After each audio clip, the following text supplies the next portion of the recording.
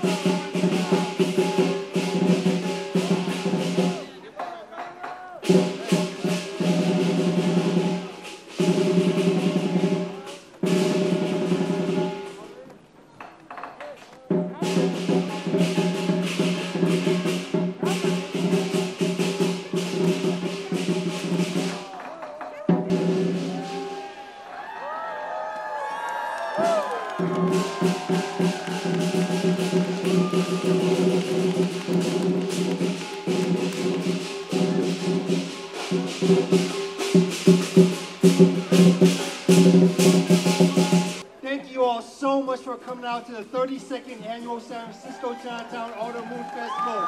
Give yourselves a big round of applause. Thank you so much for coming out to celebrate this special day with us. I want to give a special thanks to the San Francisco Chinatown Merchants Association and representing that organization, we have Ms. Eva Lee. I want to thank all of you for attending our 32nd annual Moon Festival. I want to thank the White Crane for bringing in this final finale and all of the team that you see here, all of the Chinatown organizations and individuals and performers. They are the ones that make this festival successful, and all of you. If you think Chinatown is uh, big, but actually we're very small. We're all in the same village together, and you are all part of our family. So we want you to come back next year. That's what the Autumn Moon Festival is all about. Being with your friends and family. And if you like this, please tag us, please contact us at SFCMA. Again, that's SFCMA. And then we know you really like it, and then we're going to try next, next even more for next year to make you guys come back. Thank you so much, and have a good evening.